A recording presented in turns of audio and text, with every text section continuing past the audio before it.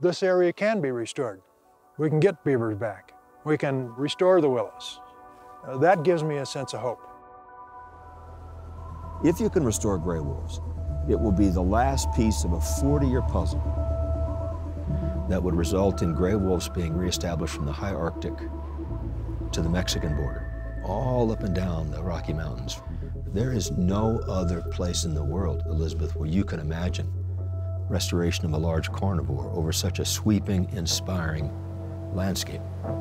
What we did in Yellowstone could be done in western Colorado.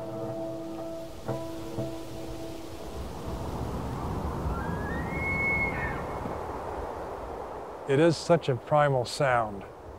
We're right in the middle of elk rutting season. Rocky Mountain National Park 2015 had over 4 million visitors. You know, they look at, a, at the landscape and it looks fine to them.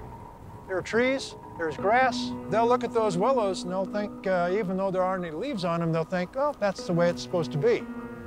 And they just don't know. There are parts of that picture that aren't right. I've been coming to Rocky Mountain National Park for almost 40 years. Over that period of time, I've seen so much of this park change. Here we are with some soils that used to be wetland soils, and they're now dry as a bone.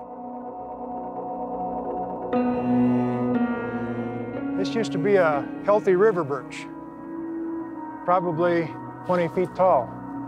My overwhelming thought is, how in the world could we allow this to happen?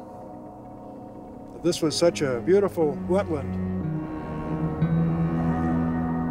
In the 1850s, 1860s, there was wetland all around. Water everywhere, beaver ponds, lush willow, shrublands, probably a place to behold. At that time, we also had wolves that was maybe the last time that uh, this ecosystem was, was in balance. Because we've eliminated such a major predator, the elk populations started decimating the willows, beaver disappeared, water table dropped, damaging the park for decades to come.